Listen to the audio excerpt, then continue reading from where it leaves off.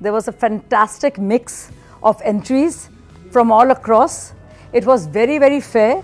And the best part was the selection of jury because there were people from all walks of life. Uh, the jury is, I think, one of the most uh, diverse juries that I have ever seen in any awards, and I think that's uh, that's what really gives this uh, whole uh, awards that the strength. Uh, I'm looking forward to a whole day of going through news clippings and uh, giving my vote for who's the best anchor, the best program, the best news channel, so on and so forth. की जो सबसे बड़ी विशेषता है कि हर field के लोग हैं किसी भी एक खास एरिया को उन्होंने नहीं लिया सभी लोगों को एक साथ समेट के रखा है तो सबका अपना विजन है जिसकी वजह से ये अवार्ड बिल्कुल ही निष्पक्ष और बहुत ही अच्छी तरीके से हो पा है। Well, the experience has been tough, uh, to put it uh, in in short. Uh, the entries have been fabulous, and one finds it really difficult to choose the winners.